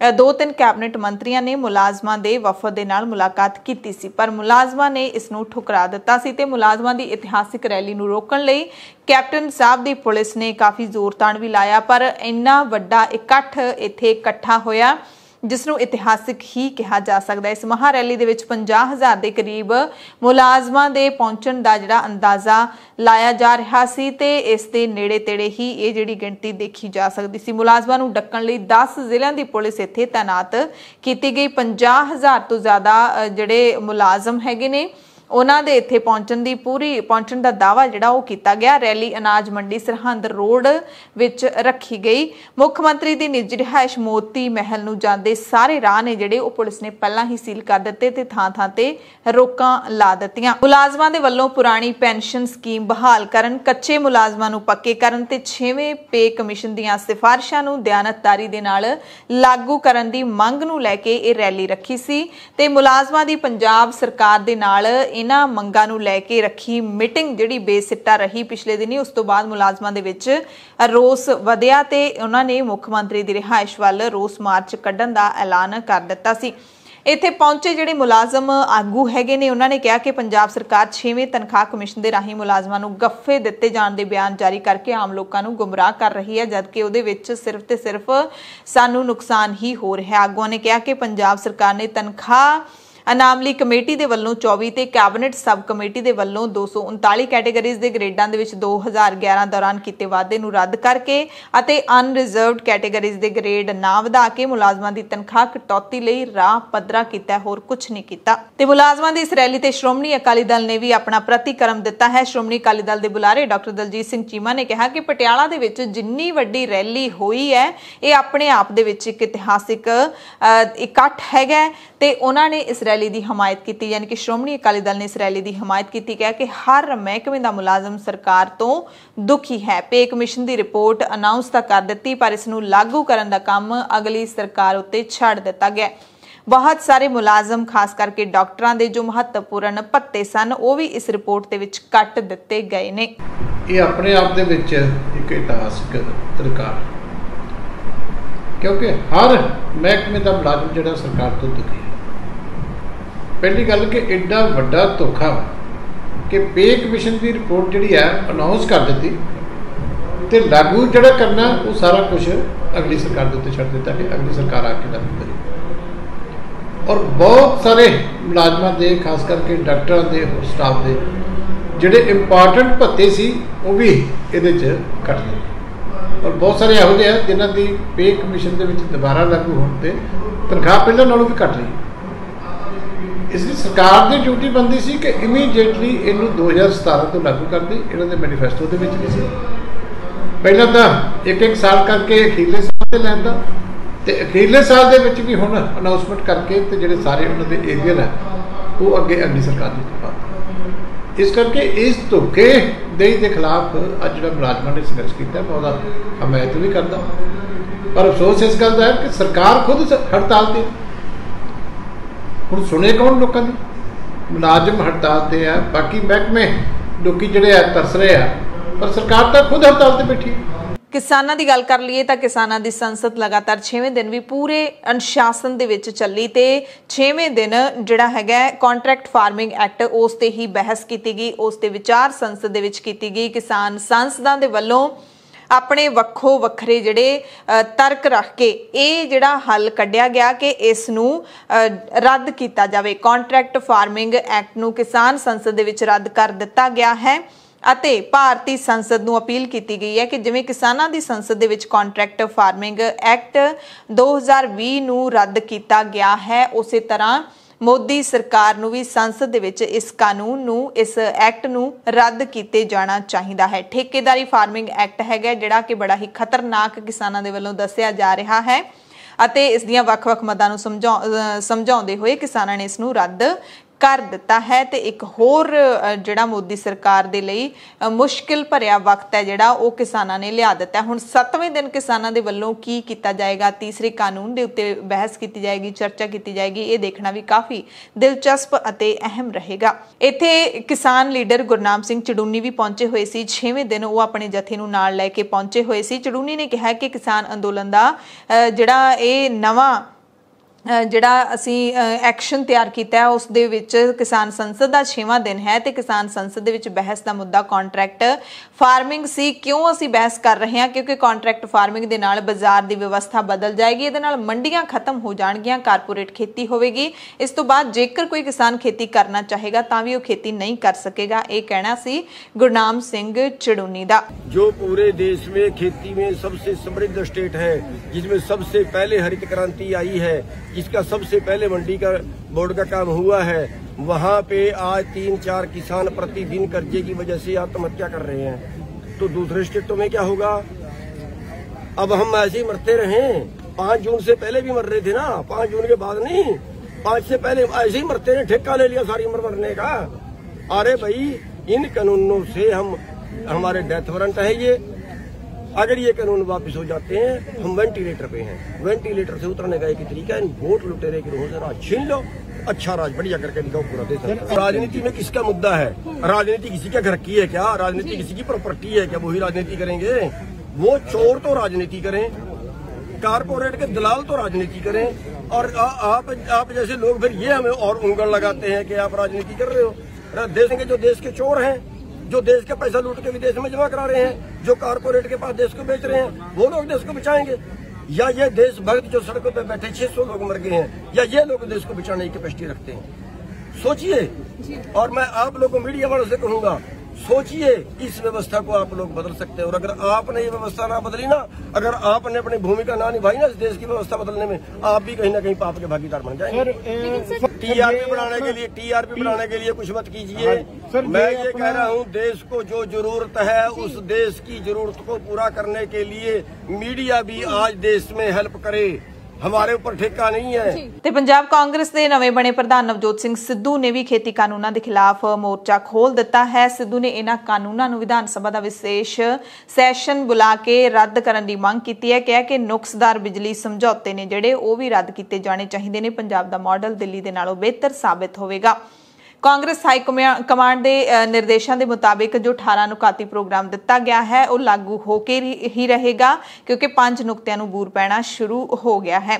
ਤੇ ਪਿਛਲੇ ਦਿਨੀ ਸਿੱਧੂ ਨੇ ਕੈਪਟਨ ਨਾਲ ਪਹਿਲੀ ਮੁਲਾਕਾਤ ਦੇ ਦੌਰਾਨ ਪੰਜ ਜਿਹੜਾ ਨੁਕਤਿਆਂ ਵਾਲਾ ਇਹ ਪੱਤਰ ਸੌਂਪਿਆ ਸੀ। ਦਰਅਸਲ ਪੰਜਾਬ ਕਾਂਗਰਸ ਦੇ ਪ੍ਰਧਾਨ ਨਵਜੋਤ ਸਿੰਘ ਸਿੱਧੂ ਬੁੱਧਵਾਰ ਨੂੰ ਦਿੱਲੀ ਪਹੁੰਚੇ ਸੀ। ਜਾਣਕਾਰੀ ਮਿਲ ਰਹੀ ਸੀ ਕਿ ਰਾਹੁਲ ਗਾਂਧੀ, ਸੋਨੀਆ ਗਾਂਧੀ, ਪ੍ਰਿਯੰਕਾ ਗਾਂਧੀ ਦੇ ਨਾਲ ਬੈਠਕ ਹੋਣੀ ਹੈ, ਪਰ ਬੈਠਕ ਨਹੀਂ ਹੋ ਸਕੀ। ਦੋ ਕੈਬਨਿਟ ਮੰਤਰੀ ਸੁਖਜਿੰਦਰ ਸਿੰਘ ਰੰਧਾਵਾ ਤੇ ਤ੍ਰਿਪਤ ਰਜਿੰਦਰ ਸਿੰਘ ਬਾਜਵਾ ਵੀ ਸਿੱਧੂ ਨਾਲ ਦਿੱਲੀ ਗਏ ਸੀ। ਮੀਟਿੰਗ ਦੇ ਵਿੱਚ ਮੰਤਰੀ ਮੰਡਲ ਦੇ ਫੇਰ ਬਦਲ ਬਾਰੇ ਵੀ ਵਿਚਾਰ ਹੋਣ ਦੀ ਸੰਭਾਵਨਾ ਦਿਖ ਰਹੀ ਸੀ। ਪਰ ਸਿੱਧੂ ਜਿਹੜਾ ਦੂਸਰੇ ਦਿਨ ਵੀਰਵਾਰ ਨੂੰ ਹੀ ਦਿੱਲੀ ਤੋਂ ਪੰਜਾਬ ਵਾਪਸ ਆ ਗਏ। ਜਲੰਧਰ ਦੇ ਵਿੱਚ ਨਵਜੋਤ ਸਿੰਘ ਸਿੱਧੂ ਨੇ ਕਾਂਗਰਸ ਭਵਨ ਜਲੰਧਰ ਵਿੱਚ ਪਾਰਟੀ ਵਰਕਰਾਂ ਦੇ ਨਾਲ ਬੈਠਕ ਕੀਤੀ, ਗੱਲਬਾਤ ਕੀਤੀ ਤੇ ਹਾਈ ਕਮਾਂਡ ਦੇ ਜਿਹੜੇ 18 ਨੁਕਾਤੀ ਜਿਹੜੇ ਏਜੰਡਾ ਹੈਗਾ, ਉਸ ਨੂੰ ਸਾਂਝਾ ਕੀਤਾ ਅਤੇ ਜਿਹੜੇ ਆਪਣੇ ਪੰਜਾਬ ਕਾਂਗਰਸ ਦੇ ਜਿਹੜੇ ਵਰਕਰ ਹੈਗੇ ਨੇ, ਜਲੰਧਰ ਦੇ ਪਾਰਟੀ ਵਰਕਰ, ਉਹਨਾਂ ਦੇ ਨਾਲ ਵਿਚਾਰ ਵਟਾਂਦਰਾ ਕੀਤਾ, ਸ਼ਿਕਾਇਤਾਂ ਵੀ ਉਹਨਾਂ ਦੀਆਂ ਸੁਣੀਆਂ। ਪਾਰਟੀ ਦੀਆਂ ਕੋਈ ਅੰਦਰੂਨੀ ਗੱਲਾਂ ਨੂੰ ਲੈ ਕੇ ਜਾਂ ਫਿਰ ਹੋਰ ਵਿਕਾਸ ਦੀਆਂ ਗੱਲਾਂ ਨੂੰ ਲੈ ਕੇ ਸ਼ਿਕਾਇਤਾਂ ਨੇ ਜਿਹੜੀਆਂ ਉਹ ਪੰਜਾਬ ਕਾਂਗਰਸ ਪ੍ਰਧਾਨ ਸਿੱਧੂ ਨੇ ਸੁਣੀਆਂ। ਬੇਅਦਬੀ ਦੇ ਮਸਲੇ ਤੇ ਪਿਛਲੇ ਦਿਨੀ ਸ਼੍ਰੀ ਅਕਾਲ ਤਖਤ ਸਾਹਿਬ ਵਿਖੇ ਜੋ ਮੀਟਿੰਗ ਬੁਲਾਈ ਗਈ ਸੀ, ਉਸ ਦੇ ਵਿੱਚ ਐਸਜੀਪੀਸੀ ਪ੍ਰਧਾਨ ਬੀਬੀ ਜਗੀਰ ਕੌਰ ਨੇ ਜਿਹੜੇ ਸ਼ਬਦਾਂ ਦੀ ਵਰਤੋਂ ਕੀਤੀ ਸੀ ਸਿੱਖ ਸੰਗਤ ਲਈ ਤੇ ਇੱਕ ਸਿੱਖ ਪ੍ਰਚਾਰਕ ਮਾਝੀ ਦੇ ਲਈ, ਹਰਜਿੰਦਰ ਸਿੰਘ ਮਾਝੀ ਦੇ ਲਈ, ਤਾਂ ਉਸ ਤੋਂ ਬਾਅਦ ਹੁਣ ਸਿੱਖ ਪ੍ਰਚਾਰਕ ਹਰਜਿੰਦਰ ਸਿੰਘ ਮਾਝੀ ਨੇ ਬੀਬੀ ਜਗੀਰ ਕੌਰ ਨੂੰ ਖੁੱਲੀ ਚਰਚਾ ਦੇ ਲਈ ਚੈਲੰਜ ਕੀਤਾ ਹੈ। ਕਿਹਾ ਕਿ ਜੇ ਬੀਬੀ ਜਗੀਰ ਕੌਰ ਦੇ ਅੰਦਰ 1% ਦੀ ਵੀ ਇਮਾਨਦਾਰੀ ਹੈ, ਤਾਂ ਅਸੀਂ ਦੋਵੇਂ ਸ਼੍ਰੀ ਅਕਾਲ ਤਖਤ ਸਾਹਿਬ ਜਾਂ ਗੁਰਦੁਆਰਾ ਮੰਜੀ ਸਾਹਿਬ ਹਾਲ ਵਿਖੇ ਇਸ ਮੁੱਦੇ ਤੇ ਖੁੱਲੀ ਚਰਚਾ ਕਰ ਸਕਦੇ ਹਾਂ। ਸ਼੍ਰੀ ਅਕਾਲ ਤਖਤ ਸਾਹਿਬ ਵਿਖੇ ਹੋਈ ਇਕੱਤਰਤਾ ਦੇ ਵਿੱਚ ਸਾਨੂੰ ਦਬਕੇ ਦੇਣਾ ਤੇ ਸਾਡੇ ਸਵਾਲਾਂ ਤੋਂ ਭੱਜਣਾ ਇਹ ਬਿਲਕੁਲ ਗਲਤ ਹੈ। ਦਰਅਸਲ ਬੀਬੀ ਜਗੀਰ ਕੌਰ ਨੇ ਉਸ ਮੀਟਿੰਗ ਦੇ ਵਿੱਚ ਬੇਅਦਬੀ ਮਾਮਲਿਆਂ ਦੇ ਲਈ ਜ਼ਿੰਮੇਦਾਰ ਠਹਿਰਾਇਆ ਸੀ ਸਿੱਖ ਸੰਗਤ ਨੂੰ ਤੇ ਮਾਝੀ ਨੇ ਕਿਹਾ ਕਿ ਉਸ ਮੀਟਿੰਗ ਦੇ ਵਿੱਚ ਮੈਨੂੰ ਬੇਅਦਬੀ ਮਾਮਲਿਆਂ ਦੇ ਲਈ ਜ਼ਿੰਮੇਵਾਰ ਠਹਿਰਾਇਆ ਸੀ ਤੇ ਕਿਹਾ ਸੀ ਕਿ ਜੋ ਮਾਝੀ ਸਾਜੀ ਹੈ ਜਿਹੜਾ ਉਸ ਦਿਨ ਬੋਲਦਾ ਸੀ ਉਹ ਸਮੇਤ ਬਹਿਬਲ ਕਲਾਂ ਦੇ ਵਿੱਚ ਧਰਨਾ ਦੇਣ ਵਾਲੇ ਹੀ ਅਸਲੀ ਦੋਸ਼ੀ ਨੇ। ਮਾਝੀ ਨੇ ਕਿਹਾ ਕਿ ਪਿਛਲੇ ਦਿਨੀ ਜਦੋਂ ਅ, ਭਵਾਨੀਗੜ੍ਹ ਦੇ ਸੰਗਰੂਰ ਜ਼ਿਲ੍ਹੇ ਦੇ ਪਿੰਡ ਜੌਲੀਆਂ ਦੇ ਵਿੱਚ ਬੇਅਦਬੀ ਦੀ ਘਟਨਾ ਵਾਪਰੀ ਸੀ ਤਾਂ ਐਸਜੀਪੀਸੀ ਦੇ ਮੈਂਬਰਾਂ ਨੇ ਇੱਕਦਮ ਪਿੰਡ ਵਾਲਿਆਂ ਨੂੰ ਨਾਲ ਲੈ ਕੇ ਸਰੂਪ ਨੂੰ ਗੱਡੀ ਵਿੱਚ ਰੱਖ ਕੇ ਗੋਇੰਦਵਾਲ ਸਾਹਿਬ ਨੂੰ ਚਾਲੇ ਪਾ ਦਿੱਤੇ ਸੀ ਤੇ ਉੱਥੇ ਸੰਗਤ ਨੂੰ ਦੁੱਗਣਾ ਰੋਸ ਹੋ ਗਿਆ ਸੀ ਕਿ ਸਾਨੂੰ ਜਿਹੜਾ ਹੈਗਾ ਸਰੂਪ ਦੇ ਆਖਰੀ ਦਰਸ਼ਨ ਨੇ ਜਿਹੜੇ ਉਹ ਵੀ ਨਹੀਂ ਕਰਨ ਦਿੱਤੇ। ਉਸ ਤੋਂ ਬਾਅਦ ਸੰਗਤ ਨੇ ਉੱਥੇ ਜਾਮ ਲਾ ਦਿੱਤਾ ਸੀ ਤੇ ਫਿਰ ਇਹਨਾਂ ਨੂੰ ਸਰੂਪ ਵਾਪਸ ਲਿਆਉਣੇ ਪਏ ਤੇ ਉਸੇ ਸਰੂਪ ਨੂੰ ਬੀਬੀ ਜਗੀਰ ਕੌਰ ਵੀ ਮੱਥਾ ਟੇਕ ਕੇ ਆਏ ਤੇ ਦਰਸ਼ਨ ਵੀ ਕਰਕੇ ਆਏ। ਕਹਿੰਦੇ ਅਸਲ ਦੇ ਵਿੱਚ ਬੀਬੀ ਜਗੀਰ ਕੌਰ ਨੂੰ ਰੋਸ ਹੀ ਉਸੇ ਗੱਲ ਦਾ ਹੈ ਕਿ ਉੱਥੇ ਜਾ ਕੇ ਅਸੀਂ ਐਸਜੀਪੀਸੀ ਦੇ ਜਿਹੜੇ ਮੁਲਾਜ਼ਮ ਹੈਗੇ ਨੇ, ਉਹਨਾਂ ਨੂੰ ਰੋਕ ਦਿੱਤਾ। ਤੁਰੰਤ ਗੋਇੰਦਵਾਲ ਸਾਹਿਬ ਨੂੰ ਜਾਣ ਤੋਂ, ਇਸ ਕਰਕੇ ਬੀਬੀ ਮੇਰੇ ਤੋਂ ਔਖੀ ਹੈ। ਤੇ ਇਸ ਮਸਲੇ ਦੇ ਉੱਤੇ ਸ਼੍ਰੋਮਣੀ ਅਕਾਲੀ ਦਲ ਦੇ ਲੀਡਰ ਵਿਰਸਾ ਸਿੰਘ ਵਲਟੋਹਾ ਨੇ ਕਿਹਾ ਕਿ ਅਸੀਂ ਧਰਮ ਪ੍ਰਚਾਰ ਕਰਨ ਦੀ ਬਜਾਏ ਇੱਕ ਦੂਸਰੇ ਦੀ ਨਿੰਦਿਆ ਕਰਨ ਤੇ ਹੀ ਉਤਰ ਆਏ ਹਾਂ, ਜਿਹੜਾ ਕਿ ਬਿਲਕੁਲ ਗਲਤ ਹੈ। ਵਿਰਸਾ ਸਿੰਘ ਵਲਟੋਆ ਜਿਹੜੇ ਕਿ ਅਕਾਲੀ ਲੀਡਰ ਨੇ, ਉਹਨਾਂ ਨੇ ਖੁਦ ਕਿਹਾ ਹੈ ਕਿ ਬੀਬੀ ਜਗੀਰ ਕੌਰ ਨੇ ਮਾਝੀ ਦੇ ਲਈ ਜਿਸ ਤਰ੍ਹਾਂ ਦੀ ਸ਼ਬਦਾਵਲੀ ਵਰਤੀ ਹੈ, ਉਹ ਮੈਨੂੰ ਵੀ ਸਵੀਕਾਰ ਨਹੀਂ ਹੈ। ਬਹੁਤ ਗਲਤ ਹੈ, ਕਿਉਂਕਿ ਬੀਬੀ ਦਾ ਅਹੁਦਾ ਬਹੁਤ ਵੱਡਾ ਹੈ, ਇਸ ਲਈ ਉਹਨਾਂ ਨੂੰ ਆਪਣੀ ਭਾਸ਼ਾ ਵਿੱਚ ਸੱਭਿਅਤਾ ਦਿਖਾਉਣੀ ਚਾਹੀਦੀ ਸੀ। ਬੀਬੀ ਜਗੀਰ ਕੌਰ ਨੇ ਉਸ ਦਿਨ ਕਿਹਾ ਕੀ ਸੀ, ਉਹ ਵੀ ਅਸੀਂ ਤੁਹਾਨੂੰ ਉਹਦਾ ਥੋੜਾ ਜਿਹਾ ਜਿਹੜਾ ਨਮੂਨਾ ਹੈ, ਉਹ ਸੁਣਾ ਦਿੰਨੇ ਆ ਕਿਉਂ ਬੈਠੇ ਸੀ ਸਾਰੇ? ਕਿਉਂ ਬੈਠੇ ਸੀ ਉਸ ਵੇਲੇ? ਛੱਡੋ! ਖੂਨ ਦਾ ਪਿਆਲਾ ਲੈ ਕੇ ਕਹਿੰਦੇ ਸੀ, ਲੈ ਕੇ ਚੱਲੇ ਆ ਛੱਡੋ। ਉਹ ਜਿਹੜਾ ਉਦੋਂ ਬੋਲਿਆ ਸੀ ਨਾ, ਮਾਂਜੀ ਸਾਂਝੀ ਜਿਹਾ, ਜਿਹੜਾ ਵਿੱਚ ਬਾਈਬਲ ਕਲਾ, ਮੈਂ ਕਹਿੰਦੀ, ਅਸੀਂ ਦੋਸ਼ੀ ਉਹ ਨੇ ਜਿਹੜਾ ਧਰਨਾ ਦਿੱਤਾ ਸੀ। ਤੇ ਇਸ ਮਸਲੇ ਤੇ ਪੰਥ ਅਕਾਲੀ ਲਹਿਰ ਦੇ ਪ੍ਰਧਾਨ ਅਤੇ ਸ਼੍ਰੀ ਅਕਾਲ ਤਖਤ ਸਾਹਿਬ ਦੇ ਸਾਬਕਾ ਜਥੇਦਾਰ ਭਾਈ ਰਣਜੀਤ ਸਿੰਘ ਨੇ ਵੀ ਆਪਣਾ ਪ੍ਰਤੀਕਰਮ ਦਿੱਤਾ ਹੈ ਕਿ ਹੈ ਕਿ ਸ਼੍ਰੀ ਅਕਾਲ ਤਖਤ ਸਾਹਿਬ ਦੇ ਜਥੇਦਾਰ ਅਤੇ ਐਸਜੀਪੀਸੀ ਪ੍ਰਧਾਨ ਬੀਬੀ ਜਗੀਰ ਕੌਰ ਮੁੜ ਤੋਂ ਬਾਦਲ ਪਰਿਵਾਰ ਨੂੰ ਬਚਾਉਣਾ ਚਾਹੁੰਦੇ ਨੇ ਤੇ ਉਹਨਾਂ ਨੂੰ ਮੁੜ ਤੋਂ ਉਹ ਜਿਹੜੀ ਪੰਜਾਬ ਦੀ ਸਿਆਸਤ ਹੈ, ਉਸ ਦੇ ਵਿੱਚ ਮੋਹਰੀ ਬਣਾਉਣ ਦੀ ਕੋਸ਼ਿਸ਼ ਵਿੱਚ ਲੱਗੇ ਹੋਏ ਨੇ, ਪਰ ਅਸੀਂ ਅਜਿਹਾ ਨਹੀਂ ਹੋਣ ਦੇਵਾਂਗੇ। ਇਹ ਮੈਨੂੰ ਲੱਗਦਾ ਇੱਕ ਤੇ ਅਕਾਲ ਤਖਤ ਦਾ ਦੁਬਾਰਾ ਮਿਸਯੂਜ਼ ਹੋਣ ਜਾ ਰਿਹਾ ਤੇ ਬੜਾ ਪ੍ਰੀ ਪਲਾਨਡ ਗੱਲ ਹੋ ਰਹੀ ਹੈ, ਕਿਉਂਕਿ ਪਿੱਛੇ ਜੇ ਜਦੋਂ ਪਲਾਨ ਬਣੀ ਸੀ ਅਮ, ਅਕਾਲੀ ਦਲ ਦੀ ਬਾਦਲ ਦੀ ਵੀ ਇਹ ਹੁਣ ਅਸੀਂ ਕਾਂਗਰਸ ਨੂੰ ਕਿਵੇਂ ਜਿੱਤਣਾ ਤੇ ਇੱਕ ਪਲਾਨ ਬਣੀ ਕਿ ਜਿਹੜੀ ਜ਼ਖਮੀ ਵੀਰ ਆ ਉਹਨੂੰ ਉਭਾਰਿਆ ਜਾਵੇ ਤੇ 84 ਦੀ ਯਾਦ ਕਰਵਾਈ ਜਾਵੇ ਤੇ ਉਹ ਬੀਬੀ ਨੇ ਜ਼ਖਮੀ ਬੀੜ ਰੱਖ ਦਿੱਤੀ। ਹਾਲਾਂਕਿ ਬੀਬੀ ਨੂੰ ਪਹਿਲਾਂ ਅਕਲ ਨਹੀਂ ਆਈ ਬੀਬੀ ਨੇ ਉਸੇ ਬੀੜ ਦੀ ਜੇਲ੍ਹ ਤਾਪ ਬਣਵਾਈ। ਨਵੇਂ ਸਿਰੋਂ ਬਾਦਲ ਨੂੰ ਬਲ ਦੇਣ ਲਈ ਸਾਬਤ ਕੀਤਾ ਜਾ ਰਿਹਾ ਕਿ ਤੁਸੀਂ ਇਹ ਕਿਉਂ ਕਹਿ ਰਹੇ ਹੋ ਕਿ 15 ਤੋਂ ਬਰਗਾੜੀ ਦੀ ਵਜ੍ਹਾ ਨਾਲ ਬਾਦਲ ਦੋਸ਼ੀ। ਇਹ ਕਿਉਂ ਨਹੀਂ ਕਹਿੰਦੇ 84 84 ਦੀ ਗੱਲ ਕਿਉਂ ਨਹੀਂ ਕਰਦੇ? ਤੋ 84 ਦੀ ਗੱਲ ਅਸੀਂ ਕਹਿੰਦੇ ਕਰਨੀ ਕਿੰਨੇ ਸੀ? ਵੀ ਕਾਲ ਤੱਕ ਤੁਹਾਡੇ ਕੋਲ ਲਗਾਤਾਰ, ਕਮੇਟੀ ਤੁਹਾਡੇ ਕੋਲ, ਅਕਾਲੀ ਦਲ ਤੁਹਾਡੇ ਕੋਲ, ਸਰਕਾਰਾਂ ਤੁਹਾਡੀਆਂ, ਭਾਈਵਾਲੀ ਸੈਂਟਰ ਨਾਲ ਤੁਹਾਡੀ, ਤੇ 84 ਦੀ ਗੱਲ ਕਰਨੀ ਕਿੰਨੇ ਸੀ? ਪਰ ਗੱਲ ਕਰੇ ਕਿੱਥੇ? ਕਿਹਨੂੰ ਕਵੇ? ਇਹ ਇਹ ਇਹ ਗੇਲਾ ਕਿਹਦੇ ਤੇ ਕਰੇ? ਪਰ ਸਾਡੇ ਜਿਹੜੇ ਆਗੂ ਵਿਕ ਜਾਣ, ਜਦੋਂ ਉਹ ਸਵਾਰਥੀ ਹੋ ਜਾਣ, ਜਦੋਂ ਉਹਨਾਂ ਦਾ ਬੇੜਾ ਕਰਕ ਜਾਏ ਝੂਠ ਬੋਲਣ ਤੇ ਤੇ ਖਾਣ ਤੇ ਤੇ ਉਦੋਂ ਬ- ਕੋਈ ਕੀ ਕਰ ਸਕਦਾ? ਸਾਰੇ ਹਾਲਾਤਾਂ ਤੋਂ ਜਾਣੂ ਆ, ਬੀਬੀ ਝੂਠ ਬੋਲ ਰਹੀ ਆ। ਬੀਬੀ ਨੂੰ ਚੰਗੀ ਤਰ੍ਹਾਂ ਪਤਾ, ਬਾਦਲ ਦਾ ਰਾਜ ਸੀ। ਬਾਦਲ ਨੇ ਪਹਿਲਾਂ, ਬਾਦਲ ਦੇ ਮੁੰਡੇ ਨੇ ਸਾਰਾ ਕੁਝ ਤੈਅ ਕੀਤਾ ਰਾਮ ਰਹੀਮ ਨਾਲ। ਉਹਦੇ ਮੁਤਾਬਕ ਹੋਇਆ। ਇਹ ਗੁਰੂ ਗ੍ਰੰਥ ਸਾਹਿਬ ਦੀ ਜਿਹੜੀ ਬੇਅਦਬੀ ਹੋਈ, ਇਹ ਚੰਗੀ ਤਰ੍ਹਾਂ ਪਤਾ ਇਹਨਾਂ ਨੂੰ ਕਿ ਰਾਮ ਰਹੀਮ ਦੇ ਜਿਹੜੇ ਬੰਦਿਆਂ ਨੇ ਕੀਤੀ। ਪਰ ਇਹਨਾਂ ਨੇ ਉਸ ਪਾਸੇ ਨਾ ਤੇ ਉਸ ਐਫ ਆਈ ਆਰ ਦੇ ਪਿੱਛੇ ਜਾਣ ਦਿੱਤਾ, ਬਲਕਿ ਐਫ ਆਈ ਆਰ ਤੀਸਰੀ ਐਫ ਆਈ ਆਰ ਆਪਣੇ ਪੁਲਿਸ ਅਫਸਰ ਤੋਂ ਲਿਖਵਾਈ। ਉਹਦੇ ਨੂੰ ਬਾਦਲ ਨੂੰ ਦੁਬਾਰਾ ਲਾੜਾ ਬਣਾ ਕੇ, ਪੰਥ ਦਾ ਦੂਲਾ ਬਣਾ ਕੇ ਪੇਸ਼ ਕੀਤਾ ਜਾਵੇ, ਇਸ ਲਈ ਰਾਹ ਪੱਧਰਾ ਕਰ ਰਿਹਾ ਇੱਕ ਗ੍ਰੰਥੀ ਕੀ ਨਾ ਉਹਦਾ ਜਥੇਦਾਰ ਜਿਹੜਾ ਬਣਾਇਆ ਨੇ। ਬਾਦਲ ਨੇ ਤੇ ਇੱਕ ਬੀਬੀ ਜਗੀਰ ਕੌਰ। ਕਰਤਾਰਪੁਰ ਸਾਹਿਬ ਦਾ ਲਾਂਘਾ ਮੁੜ ਤੋਂ ਖੋਲਣ ਦੀ ਮੰਗ ਹੈ, ਜਿਹੜੀ ਉਹ ਲਗਾਤਾਰ ਉੱਠ ਰਹੀ ਹੈ ਤੇ ਇਸੇ ਦਰਮਿਆਨ ਬੀਜੇਪੀ ਦੇ ਲੀਡਰ ਹਰਜੀਤ ਗਰੇਵਾਲ ਨੇ ਵੀ ਕਰਤਾਰਪੁਰ ਸਾਹਿਬ ਦੇ ਲਾਂਘੇ ਬਾਰੇ ਬਿਆਨ ਦਿੰਦਿਆਂ ਕਿਹਾ ਹੈ ਕਿ ਇਹ ਲਾਂਘਾ ਦੋ ਮੁਲਕਾਂ ਦੇ ਵਿਚਾਲੇ ਦੀ ਗੱਲ ਹੈ। ਪਾਕਿਸਤਾਨ ਕਈ ਵਾਰੀ ਮੁਸ਼ਕਲਾਂ ਪੈਦਾ ਕਰ ਚੁੱਕਿਆ ਹੈ। ਬੜੀ ਹੈਰਾਨੀ ਦੀ ਗੱਲ ਹੈ ਕਿ ਬੀਜੇਪੀ ਦੇ ਲੀਡਰ ਪਾਕਿਸਤਾਨ ਦੇ ਸਿਰ ਤੇ ਭਾਂਡਾ ਫੋੜ ਰਹੇ ਨੇ ਕਿ ਪਾਕਿਸਤਾਨ ਮੁਸ਼ਕਲਾਂ ਪੈਦਾ ਕਰ ਚੁੱਕਿਆ ਹੈ। ਜਦ ਕਿ ਫੈਕਟ ਹੈ ਕਿ ਪਾਕਿਸਤਾਨ ਕਰੀਬ 3-4 ਮਹੀਨੇ ਪਹਿਲਾਂ ਕਹਿ ਚੁੱਕਿਆ ਕਿ ਅਸੀਂ ਲਾਂਘਾ ਮੁੜ ਤੋਂ ਖੋਲਣ ਦੇ ਲਈ ਤਿਆਰ ਹਾਂ। ਭਾਰਤ ਸਰਕਾਰ ਮਨਜ਼ੂਰੀ ਦੇਵੇ ਸਾਡੇ ਵੱਲੋਂ ਤਿਆਰੀਆਂ ਪੂਰੀਆਂ ਨੇ। ਕਹਿੰਦੇ 70 ਸਾਲ ਬਾਅਦ ਸਾਡੀ ਹੀ ਸਰਕਾਰ ਨੇ ਕਰਤਾਰਪੁਰ ਸਾਹਿਬ ਦਾ ਲਾਂਘਾ ਖੋਲਿਆ ਸੀ ਤੇ ਅਸੀਂ ਵੀ ਚਾਹੁੰਦੇ ਹਾਂ ਕਿ ਕਰਤਾਰਪੁਰ ਸਾਹਿਬ ਦਾ ਲਾਂਘਾ ਮੁੜ ਖੁੱਲੇ ਬਿਜਲੀ ਸਮਝੌਤੇ ਰੱਦ ਕਰਨ ਨੂੰ ਲੈ ਕੇ ਵੀ ਬੀਜੇਪੀ ਨੇ ਬਿਆਨ ਦਿੱਤਾ ਹੈ। ਗਰੇਵਾਲ ਨੇ ਕਿਹਾ ਕਿ 4 ਸਾਲ 6 ਮਹੀਨਿਆਂ ਤੋਂ ਬਾਅਦ ਹੀ ਸਮਝੌਤੇ ਰੱਦ ਕਰਨ ਦੀ ਯਾਦ ਕਿਉਂ ਆਈ ਹੈ? ਕੈਪਟਨ ਸਰਕਾਰ ਨੂੰ, ਕੈਪਟਨ ਨੂੰ ਕੀ ਕੁਰਸੀ ਚਲੇ ਜਾਣ ਦਾ ਡਰ ਹੈ? ਸਮਝੌ ਸਮਝੌਤੇ ਜੇ ਰੱਦ ਕਰਨੇ ਨੇ ਤਾਂ ਵਿਧਾਨ ਸਭਾ ਦਾ ਸੈਸ਼ਨ ਬੁਲਾ ਕੇ ਰੱਦ ਕੀਤੇ ਜਾਣ। ਸਾਡੀ ਸਰਕਾਰ ਆਉਣ ਤੇ ਅਸੀਂ ਸਭ ਤੋਂ ਪਹਿਲਾਂ ਬਿਜਲੀ ਦੇ ਸਮਝੌਤੇ ਹੀ ਰੱਦ ਕਰਾਂਗੇ। ਸੋ ਲੋਕ ਬੀਜੇਪੀ ਦੇ ਲੀਡਰਾਂ ਦੇ ਇਹੋ ਜਿਹੇ ਬਿਆਨਾਂ ਤੇ ਸੱਚਮੁੱਚ ਮੁਸਕਰਾਉਂਦੇ ਨੇ ਕਿਉਂਕਿ ਬੀਜੇਪੀ ਸੁਪਨੇ ਦੇਖ ਰਹੀ ਹੈ ਕਿ 2022 ਦੇ ਵਿੱਚ ਅਸੀਂ ਪੰਜਾਬ ਦੇ ਵਿੱਚ ਆਪਣੇ ਬਲਬੂਤੇ ਤੇ ਸਰਕਾਰ ਬਣਾਵਾਂਗੇ। 117 ਸੀਟਾਂ ਤੇ ਆਪਣੇ ਉਮੀਦਵਾਰ ਖੜੇ ਕਰਾਂਗੇ ਤੇ ਸਾਰੇ ਉਹ ਜਿੱਤਣਗੇ ਤੇ ਸਾਡੀ ਸਰਕਾਰ ਹੋਏਗੀ, ਜਦਕਿ ਜ਼ਮੀਨੀ ਹਾਲਾਤ ਇਹ ਨੇ ਕਿ ਬੀਜੇਪੀ ਲੀਡਰਾਂ ਨੂੰ ਨਾ ਪਿੰਡਾਂ ਦੇ ਵਿੱਚ, ਨਾ ਸ਼ਹਿਰਾਂ ਦੇ ਵਿੱਚ ਕਿਤੇ ਵੀ ਬੈਠਕ ਤੱਕ ਨਹੀਂ ਕਰਨ ਦਿੱਤੀ ਜਾਂਦੀ। ਤੇ ਲੋਕ ਕਹਿੰਦੇ ਨੇ ਕਿ ਇਹਨਾਂ ਨੂੰ ਉਮੀਦਵਾਰ ਹੀ ਨਹੀਂ ਮਿਲਣੇ ਹੈਗੇ। ਜਿੱਤਣਾ ਤਾਂ ਬਹੁਤ ਦੂਰ ਦੀ ਗੱਲ ਹੈ। ਜਦੋਂ ਪਿੱਛੇ ਨਗਰ ਨਿਗਮ ਚੋਣਾਂ ਹੋਈਆਂ ਸੀ, ਉਦੋਂ ਬੀਜੇਪੀ ਨੂੰ ਕਈ ਜ਼ਿਲ੍ਹਿਆਂ ਦੇ ਵਿੱਚ ਉਮੀਦਵਾਰ ਤੱਕ ਨਹੀਂ ਮਿਲੇ ਸੀ। ਕਿਸਾਨ ਸੰਘਰਸ਼ ਦਾ ਇਹ ਅਸਰ ਹੈ। ਤੇ ਉਧਰ ਅਕਾਲੀ ਦਲ ਨੇ ਕਾਂਗਰਸ ਪਾਰਟੀ ਦੇ ਨਵਾਂ ਹਮਲਾ ਕੀਤਾ ਹੈ। ਅਕਾਲੀ ਦਲ ਨੇ ਕਿਹਾ ਕਿ ਕੈਪਟਨ ਅਮਰਿੰਦਰ ਸਿੰਘ ਅੱਜ ਕੁਰਸੀ ਦੇ ਉੱਤੇ ਤਾਂ ਜ਼ਰੂਰ ਬੈਠੇ ਨੇ, ਪਰ ਉਹ ਬਿਨਾਂ ਪਾਵਰ ਤੋਂ ਨੇ। ਪਾਰਟੀ ਹਾਈ ਕਮਾਂਡ ਚੋਣਾਂ ਦੇ ਵਿੱਚ ਉਤਰਨ ਲਈ ਡੰਡੇ ਦੇ ਜ਼ੋਰ ਤੇ ਕੈਪਟਨ ਕੋਲੋਂ ਮਨਮਰਜ਼ੀ ਦੇ ਫੈਸਲੇ ਕਰਵਾ ਰਹੀ ਹੈ। ਕਹਿੰਦੇ ਕੈਪਟਨ ਅਮਰਿੰਦਰ ਸਿੰਘ ਅੱਜ ਬਿਨਾਂ ਪਾਵਰ ਦੇ ਮੁੱਖ ਮੰਤਰੀ ਨੇ ਡਾਕਟਰ ਦਲਜੀਤ ਸਿੰਘ ਚੀਮਾ ਦਾ ਕਹਿਣਾ ਹੈ ਕਿ ਹੁਣ ਸਮਾਂ ਇਹ ਹੋ ਗਿਆ ਕਿ ਪੰਜਾਬ 'ਚ ਪ੍ਰੈਕਟੀਕਲ ਤੌਰ ਤੇ ਕਿਸੇ ਨੂੰ ਵੀ ਮੁੱਖ ਮੰਤਰੀ ਕਿਹਾ ਹੀ ਨਹੀਂ ਜਾ ਸਕਦਾ। ਕਿਉਂਕਿ ਕਾਂਗਰਸ ਹੁਣ ਚੋਣਾਂ ਨੂੰ ਲੈ ਕੇ ਸਿਰਫ ਲੋਕਾਂ ਨੂੰ ਗੁੰਮਰਾਹ ਕਰਨ ਦੀ ਕੋਸ਼ਿਸ਼ ਕਰ ਰਹੀ ਹੈ। ਜੇਕਰ ਸਰਕਾਰ ਨੂੰ ਲੱਗਦਾ ਹੈ ਕਿ ਬਿਜਲੀ ਸਮਝੌਤੇ ਗਲਤ ਨੇ, ਤਾਂ ਉਹਨਾਂ ਨੂੰ ਰੱਦ ਕਰ ਦੇਣਾ ਚਾਹੀਦਾ। ਸਾਨੂੰ ਕੋਈ ਇਤਰਾਜ਼ ਨਹੀਂ ਹੈ। ਜੇ ਸਰਕਾਰ ਨੂੰ ਲੱਗਦਾ ਰਿਵਿਊ ਕੀਤਾ ਜਾਵੇ, ਤਾਂ ਵੀ ਜੋ ਕਾਰਵਾਈ ਕਰਾਉਣੀ ਹੈ ਕਰਨ, ਸਾਨੂੰ ਕੋਈ ਫ਼ਰਕ ਨਹੀਂ ਪੈਂਦਾ। ਤੇ ਪੰਜਾਬ ਦੇ ਵਿੱਚ ਕੈਪਟਨ ਸਾਹਿਬ ਦੇ ਦੋ ਚਹੇਤੇ ਮੰਤਰੀਆਂ ਦੀ ਕੁਰਸੀ ਡੋਲਣ ਲੱਗੀ ਹੈ। ਸਮਾਜਿਕ ਨਿਆਂ ਮੰਤਰੀ ਸਾਧੂ ਸਿੰਘ ਧਰਮਸੋਤ ਦੇ ਵੱਲੋਂ ਪੋਸਟ ਮੈਟ੍ਰਿਕ ਸਕਾਲਰਸ਼ਿਪ ਫੰਡ ਵਿੱਚ ਘੁਟਾਲਾ ਕਰਨ ਤੇ ਖੇਡ ਮੰਤਰੀ ਰਾਣਾ ਗੁਰਮੀਤ ਸਿੰਘ ਸੋਢੀ ਤੇ ਇੱਕੋ ਜ਼ਮੀਨ ਦਾ ਦੋ ਵਾਰੀ ਮੁਆਵਜ਼ਾ ਲੈਣ ਦੇ ਲੱਗਦੇ ਦੋਸ਼ਾਂ ਨੂੰ ਲੈ ਕੇ ਇਹਨਾਂ ਨੂੰ ਮੰਤਰੀ ਮੰਡਲ ਤੋਂ ਬਾਹਰ ਕਰਨ ਦਾ ਦਬਾਅ ਪੈਣਾ ਸ਼ੁਰੂ ਹੋ ਗਿਆ। ਲੱਗਦਾ ਹੈ ਦੋਵੇਂ ਮੁੱਖ ਮੰਤਰੀ ਕੈਪਟਨ ਅਮਰਿੰਦਰ ਸਿੰਘ ਦੇ ਬਹੁਤ ਨੇੜੇ ਦੱਸੇ ਜਾਂਦੇ ਨੇ। ਪੰਜਾਬ ਮੰਤਰੀ ਮੰਡਲ ਦੇ ਸੰਭਾਵਿਤ ਫੇਰਬਦਲ ਦੇ ਵਿੱਚ ਧਰਮਸੋਤ ਤੇ ਰਾਣਾ ਸੋਢੀ ਦੀ ਛੁੱਟੀ ਕੀਤੇ ਜਾਣ ਦੀ ਸੰਭਾਵਨਾ ਪੂਰੀ ਪੂਰੀ ਦਿਖਣ ਲੱਗੀ ਹੈ। ਧਰਮਸੋਤ ਵਿਰੁੱਧ ਸੀਬੀਆਈ ਨੇ ਵੀ ਜਾਂਚ ਸ਼ੁਰੂ ਕਰ ਦਿੱਤੀ ਹੈ। ਹਾਲਾਂਕਿ ਨਵਜੋਤ ਸਿੰਘ ਸਿੱਧੂ ਵੀ ਮੰਤਰੀ ਮੰਡਲ ਵਿੱਚ ਆਪਣੇ ਪੱਖ ਦੇ ਵਿਧਾਇਕ ਸ਼ਾਮਲ ਕਰਾਉਣ ਦੇ ਲਈ ਹਾਈ ਕਮਾਂਡ ਕੋਲ ਕਹਿੰਦੇ ਪਹੁੰਚ ਕਰਨ ਵੀ ਲੱਗ ਪਏ ਨੇ। ਸੋ ਦੇਖਣਾ ਦੇਖਣਾ ਹੋਏਗਾ ਕਿ ਆਉਂਦੇ ਦਿਨਾਂ ਦੇ ਵਿੱਚ ਕੀ ਬਣਦਾ ਹੈ। ਪਰ ਇਸੇ ਦਰਮਿਆਨ ਖਬਰ ਇਹ ਵੀ ਮਿਲ ਰਹੀ ਹੈ ਕਿ ਕੈਪਟਨ ਸਾਹਿਬ ਨੇ ਸਾਧੂ ਸਿੰਘ ਧਰਮਸੋਤ ਦੇ ਨਾਲ ਜਿਹੜੀ ਆੜੀ ਹੈ, ਉਹ ਪੁਗਾਈ ਹੈ। ਸੀਬੀਆਈ ਜਾਂਚ ਦੇ ਵਿੱਚ ਅੜਿੱਕਾ ਢਾ ਦਿੱਤਾ ਹੈ। ਤੇ ਕੈਪਟਨ ਅਮਰਿੰਦਰ ਸਿੰਘ ਨੇ ਜਿਹੜਾ ਅੜਿੱਕਾ ਢਾਹਿਆ ਹੈ, ਉਹ ਇਸ ਤਰੀਕੇ ਨਾਲ ਹੈ ਕਿ ਸੀਬੀਆਈ ਦੇ ਵੱਲੋਂ ਮਾਮਲੇ ਦੀ ਜਾਂਚ ਲਈ ਕੈਪਟਨ ਸਰਕਾਰ ਤੋਂ ਜਿਹੜੇ ਦਸਤਾਵੇਜ਼ ਮੰਗੇ ਗਏ ਨੇ, ਉਹਨਾਂ ਦਾ ਕੈਪਟਨ ਸਰਕਾਰ ਨੇ ਕੋਈ ਜਵਾਬ ਨਹੀਂ ਦਿੱਤਾ ਹੈ।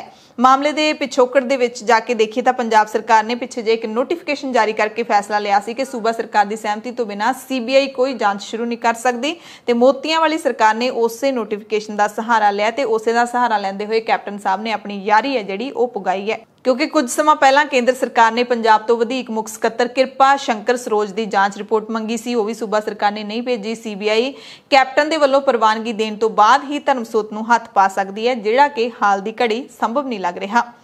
ਡੀਐਸਜੀਐਮਸੀ ਦੇ ਪ੍ਰਧਾਨ ਮਨਜਿੰਦਰ ਸਿੰਘ ਸਿਰਸਾ ਨੂੰ ਸਿੱਖਾਂ ਤੇ ਇਤਰਾਜ਼ਯੋਗ ਟਿੱਪਣੀ ਨੂੰ ਲੈ ਕੇ ਕਿਸਾਨ ਲੀਡਰ ਗੁਣੀ ਪ੍ਰਕਾਸ਼ ਤੇ ਗੁੱਸਾ ਆ ਗਿਆ। ਸਿਰਸਾ ਨੇ ਕਿਹਾ ਕਿ ਗੁਣੀ ਪ੍ਰਕਾਸ਼ ਨੇ ਇੱਕ ਗਿਣੀ ਮਿਥੀ ਸਾਜ਼ਿਸ਼ ਦੇ ਤਹਿਤ ਬਿਆਨ ਦਿੱਤਾ, ਜਿਸ ਨਾਲ ਹਿੰਦੂ ਸਿੱਖਾਂ ਦੇ ਵਿਚਾਲੇ ਫੁੱਟ ਪਾਉਣ ਦੀ ਕੋਸ਼ਿਸ਼ ਰਚੀ ਜਾ ਰਹੀ ਹੈ। ਉਹਨਾਂ ਨੇ ਚੇਤਾਵਨੀ ਦਿੱਤੀ ਹੈ ਕਿ ਗੁਣੀ ਪ੍ਰਕਾਸ਼ ਦੀ ਅਜਿਹੀ ਬਿਆਨਬਾਜ਼ੀ ਨੂੰ ਹੋਰ ਬਰਦਾਸ਼ਤ ਨਹੀਂ ਕੀਤਾ ਜਾਏਗਾ। ਗੁਣੀ ਪ੍ਰਕਾਸ਼ ਨੇ ਕਿਸਾਨ ਲੀਡਰ ਗੁਰਨਾਮ ਸਿੰਘ ਚੜੂਨੀ ਦੇ ਖਿਲਾਫ ਘਟੀਆ ਨਸਲੀ ਟਿੱਪਣੀ ਕੀਤੀ ਹੈ। ਸਿਰਸਾ ਨੇ ਗੁਣੀ ਪ੍ਰਕਾਸ਼ ਖਿਲਾਫ ਪਰਚਾ ਦਰਜ ਕਰਾਉਣ ਤੇ ਉਸ ਨੂੰ ਜੇਲ੍ਹ ਵਿੱਚ ਡੱਕਣ ਦੀ ਚੇਤਾਵਨੀ ਦਿੱਤੀ ਹੈ। ਗੁਣੀ ਪ੍ਰਕਾਸ਼ ਨੇ ਹਰਿਆਣਾ ਦੇ ਕਿਸਾਨ ਲੀਡਰ ਗੁਰਨਾਮ ਸਿੰਘ ਚੜੂਨੀ ਦੀ ਦਸਤਾਰ ਅਤੇ ਦਾੜੀ ਕੇਸਾਂ ਨੂੰ ਲੈ ਕੇ ਵਿਵਾਦਿਤ ਟਿੱਪਣੀ ਕੀਤੀ ਸੀ। ਗੁਣੀ ਪ੍ਰਕਾਸ਼ ਜਿਹੜਾ ਉਹ ਭਾਰਤੀ ਕਿਸਾਨ ਯੂਨੀਅਨ ਮਾਨ, ਜਿਹੜੀ ਕਿ ਇਹਨਾਂ ਕਿਸਾਨ ਜਥੇਬੰਦੀਆਂ ਦੇ ਨਾਲ ਰਲ ਕੇ ਨਹੀਂ ਚੱਲ ਰਹੀ, ਕੇਂਦਰ ਸਰਕਾਰ ਦੇ ਪੱਖ ਦੀ ਕਿਸਾਨ ਜਥੇਬੰਦੀ ਹੈ, ਉਸ ਦੇ ਇੱਕ ਲੀਡਰ ਨੇ। ਐਸਜੀਪੀਸੀ ਪ੍ਰਧਾਨ ਬੀਬੀ ਜਗੀਰ ਕੌਰ ਨੇ ਵੀ ਗੁਣੀ ਪ੍ਰਕਾਸ਼ ਦੇ ਇਸ ਬਿਆਨ ਤੇ ਕਾਫੀ ਸਖਤ ਇਤਰਾਜ਼ ਜਤਾਇਆ ਹੈ। ਪੰਜਾਬ ਤੇ ਹਰਿਆਣਾ ਹਾਈ ਕੋਰਟ ਨੇ ਪੰਜਾਬ ਪੁਲਿਸ ਦੀਆਂ ਜ਼ਿਆਦਤੀਆਂ ਨੂੰ ਗੰਭੀਰਤਾ ਦੇ ਨਾਲ ਲਿਆ ਹੈ ਤੇ ਕਿਹਾ ਜਾ ਰਿਹਾ ਕਿ ਹੁਣ ਪੰਜਾਬ ਪੁਲਿਸ ਦੇ ਮੁਖੀ ਦੀ ਸ਼ਾਮਤ ਆ ਜਾਏਗੀ। ਮਾਨਸਾ ਪੁਲਿਸ ਦੇ ਵੱਲੋਂ ਪਵਨ ਕੁਮਾਰ ਨੂੰ ਗੈਰ ਕਾਨੂੰਨੀ ਹਿਰਾਸਤ ਵਿੱਚ ਰੱਖ ਕੇ ਉਸ ਤੇ ਤਸ਼ੱਦਦ ਕਰਨ ਵਾਲੇ ਪੁਲਸੀਆਂ ਨੂੰ ਅਦਾਲਤ ਨੇ ਨੋਟਿਸ ਜਾਰੀ ਕਰ ਦਿੱਤਾ ਹੈ। ਮਾਨਸਾ ਪੁਲਿਸ ਨੇ ਪਵਨ ਕੁਮਾਰ ਨੂੰ ਪਿਛਲੇ ਸਾਲ 18 ਜੂਨ ਨੂੰ ਘਰੋਂ ਚੁੱਕਿਆ ਸੀ, ਕੁੱਟਮਾਰ ਕੀਤੀ ਸੀ, ਜਿਸ ਤੋਂ ਬਾਅਦ ਉਹ ਲਕਵੇ ਦਾ ਸ਼ਿਕਾਰ ਹੋ ਗਿਆ ਸੀ। ਪੀੜਤ ਨੇ ਹਾਈ ਕੋਰਟ ਵਿੱਚ ਕੇਸ ਦਰਜ ਕਰਕੇ ਮੁਲਜ਼ਮਾਂ ਦੇ ਖਿਲਾਫ ਕਾਰਵਾਈ ਅਤੇ 10 ਲੱਖ ਰੁਪਏ ਮੁਆਵਜ਼ੇ ਦੀ ਮੰਗ ਕੀਤੀ ਹੈ। ਹਾਈ ਕੋਰਟ ਦੀ ਜਸਟਿਸ ਲੀਜ਼ਾ ਗਿੱਲ ਨੇ ਪੰਜਾਬ ਸਰਕਾਰ, ਪੰਜਾਬ ਡੀਜੀਪੀ ਐਸਐਸਪੀ ਮਾਨਸਾ ਤੇ ਸਬੰਧਿਤ ਥਾਣੇ ਦੇ ਐਸਐਚਓ ਨੂੰ ਨੋਟਿਸ ਜਾਰੀ ਕਰਕੇ ਜਵਾਬ ਮੰਗਿਆ। ਪਵਨ ਕੁਮਾਰ ਦੀ ਪਤਨੀ ਨੇ ਹਾਈ ਕੋਰਟ ਵਿੱਚ ਇੱਕ ਪਟੀਸ਼ਨ ਦਾਇਰ ਕਰਕੇ ਪੁਲਿਸ ਦੀਆਂ ਵਧੀਕੀਆਂ ਦੀ ਜਾਣਕਾਰੀ ਦਿੰਦਿਆਂ ਦੱਸਿਆ ਕਿ ਉਸਦੇ ਪਤੀ ਦੀ ਹਾਲਤ ਵਿਗੜਨ ਤੋਂ ਬਾਅਦ ਸਟ੍ਰੈਚਰ ਤੇ ਪਾ ਕੇ ਉਸ ਨੂੰ ਹਸਪਤਾਲ ਭੇਜ ਦਿੱਤਾ ਗਿਆ, ਪਰ ਬਿਮਾਰੀ ਠੀਕ ਨਾ ਹੋਈ। ਮਾਮਲੇ ਦੀ ਜਾਂਚ ਲਈ ਸਿੱਟ ਵੀ ਬਣਾਈ ਗਈ, ਜਿਸ ਨੇ ਇੰਸਪੈਕਟਰ ਮਨਜੀਤ ਸਿੰਘ ਦੇ ਖਿਲਾਫ ਐਫ ਆਈ ਆਰ ਦਰਜ ਕਰਨ ਦੀ ਸਿਫਾਰਿਸ਼ ਕਰਕੇ ਬਾਕੀਆਂ ਨੂੰ ਬਖਸ਼ ਦਿੱਤਾ। ਪਟੀਸ਼ਨਰ ਦਾ ਕਹਿਣਾ ਹੈ ਕਿ ਉਸਦੇ ਪਤੀ ਨੂੰ ਬੁਰੀ ਤਰ੍ਹਾਂ ਕੁੱਟਣ ਕਾਰਨ ਲਕਵਾ ਹੋਇਆ ਸੀ, ਜਿਸ ਲਈ ਮੁਆਵਜ਼ੇ ਤੇ ਦੋਸ਼ੀਆਂ ਵਿਰੁੱਧ ਕਾਰਵਾਈ ਬਣਦੀ ਹੈ। ਸੋ ਹਾਈ ਕੋਰਟ ਨੇ ਪੰਜਾਬ ਸਰਕਾਰ ਤੇ ਪੰਜਾਬ ਪੁਲਿਸ ਨੂੰ ਨੋਟਿਸ ਜਾਰੀ ਕਰਕੇ ਜਵਾਬ ਮੰਗਿਆ ਹੈ। 10 ਲੱਖ ਦੇ ਮੁਆਵਜ਼ੇ ਦੇ ਉੱਤੇ ਹਲੇ ਕੋਈ ਫੈਸਲਾ ਨਹੀਂ ਲਿਆ ਗਿਆ। ਸੋ ਪੰਜਾਬ ਪੁਲਿਸ ਦੇ ਜਿੱਥੇ ਜ਼ਿਆਦਾਤਰ ਜਿਹੜੇ ਕਰੂਰ ਚਿਹਰੇ ਹੀ ਨਜ਼ਰ ਆਉਂਦੇ ਨੇ, ਅਜਿਹੀਆਂ ਉਹਨਾਂ ਦੀਆਂ ਜਿਹੜੀਆਂ ਨਿਖੇਧੀਜਨਕ ਕਾਰਵਾਈਆਂ ਹੀ ਸਾਹਮਣੇ ਆਉਂਦੀਆਂ ਨੇ, ਉੱਥੇ ਕਦੇ ਨਾ ਕਦੇ ਚੰਗੀ ਤਸਵੀਰ ਵੀ ਦੇਖਣ ਨੂੰ ਮਿਲ ਜਾਂਦੀ ਹੈ। ਪਟਿਆਲਾ ਤੋਂ ਅਜਿਹੀ ਖਬਰ ਸਾਹਮਣੇ ਆਈ ਹੈ, ਜਿਹਦੇ ਵਿੱਚ ਟ੍ਰੈਫਿਕ ਪੁਲਿਸ ਦਾ ਇੱਕ ਸਿਪਾਹੀ ਆਪਣੀ ਡਿਊਟੀ ਤੋਂ ਪਰੇ ਜਾ ਕੇ ਵਰਦੇ ਮੀਂਹ ਦੇ ਵਿੱਚ ਨੰਗੇ ਪੈਰੀ ਮਨੁੱਖਤਾ ਪ੍ਰਤੀ ਆਪਣਾ ਫਰਜ਼ ਨਿਭਾ ਰਿਹਾ ਸੀ। ਆਮ ਤੌਰ ਤੇ ਆਪਾਂ ਦੇਖਦੇ ਹੁੰਦੇ ਹਾਂ ਕਿ ਜਦੋਂ ਬਹੁਤ ਭਾਰੀ ਮੀਂਹ ਪੈਂਦਾ ਹੁੰਦਾ ਤਾਂ ਪੁਲਿਸ ਵੀ ਨਾਕੇ ਤੇ ਨਹੀਂ ਖੜੀ ਹੁੰਦੀ। ਪੁਲਿਸ ਇਹ ਵੀ ਆਪਣੀਆਂ ਗੱਡੀਆਂ ਦੇ ਵਿੱਚ ਜਾ ਕੇ ਬਹਿ ਜਾਂਦੇ ਨੇ ਜਾਂ ਆਪਣੇ ਜਿਹੜੇ ਪੁਲਿਸ ਕੰਟਰੋਲ ਰੂਮ ਨੇ, ਉਹਨਾਂ ਦੇ ਵਿੱਚ ਜਾ ਕੇ ਬਹਿ ਜਾਂਦੇ ਨੇ। ਪਰ ਪਟਿਆਲਾ ਦੇ ਗੁਰਦੁਆਰਾ ਦੁੱਖ ਨਿਵਾਰਨ ਸਾਹਿਬ ਚੌਂਕ ਦੇ ਵਿੱਚ ਮੀਂਹ ਪੈਣ ਕਾਰਨ ਇੱਕ ਟ੍ਰੈਫਿਕ ਪੁਲਿਸ ਦੇ ਮੁਲਾਜ਼ਮ ਦੀ ਵਰਦੀ ਗਿੱਲੀ ਹੋ ਗਈ ਸੀ। ਬੂਟਾਂ ਵਿੱਚ ਵੀ ਪਾਣੀ ਭਰ ਗਿਆ ਸੀ, ਜਿਸ ਦੇ ਬਾਵਜੂਦ ਵੀ ਉਸਨੇ ਆਪਣੀ ਡਿਊਟੀ ਨਹੀਂ ਛੱਡੀ। ਨੰਗੇ ਪੈਰੀ ਬੂਟ ਲਾ ਕੇ ਉਹ ਆਪਣੀ ਡਿਊਟੀ ਜਿਹੜਾ ਹੈ ਕਰਦਾ ਰਿਹਾ। ਕਿਉਂਕਿ ਮੀਂਹ ਦੇ ਵਿੱਚ ਆਮ ਤੌਰ ਤੇ ਹੁੰਦਾ ਹੈ ਕਿ ਟ੍ਰੈਫਿਕ ਕਾਫੀ ਜਾਮ ਹੋ ਜਾਂਦਾ ਹੈ। ਸੜਕਾਂ ਦੇ ਉੱਤੇ ਕਾਫੀ ਭੀੜ ਵੱਧ ਜਾਂਦੀ ਹੈ। ਮੀਂਹ ਕਾਰਨ ਹੈ ਜਿਹੜਾ ਉਹ ਗੱਡੀਆਂ ਨੂੰ ਸਾਂਭਣਾ ਜ਼ਿਆਦਾ ਜ਼ਰੂਰੀ ਹੁੰਦਾ ਪਰ ਉਸ ਦਰਮਿਆਨ ਹੀ ਪੁਲਿਸ ਕਦੇ ਨਹੀਂ ਦਿਖਾਈ ਦਿੰਦੀ, ਪਰ ਇੱਥੇ ਦਿਖਾਈ ਦਿੱਤੀ ਹੈ।